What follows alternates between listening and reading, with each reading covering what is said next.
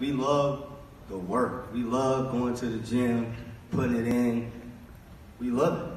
I love catching 500 footballs a day. We love it. We mm-hmm. love it. So love the work. Enjoy the process. Yeah, for I mean, I got redshirted going into Georgia. I mean, I didn't.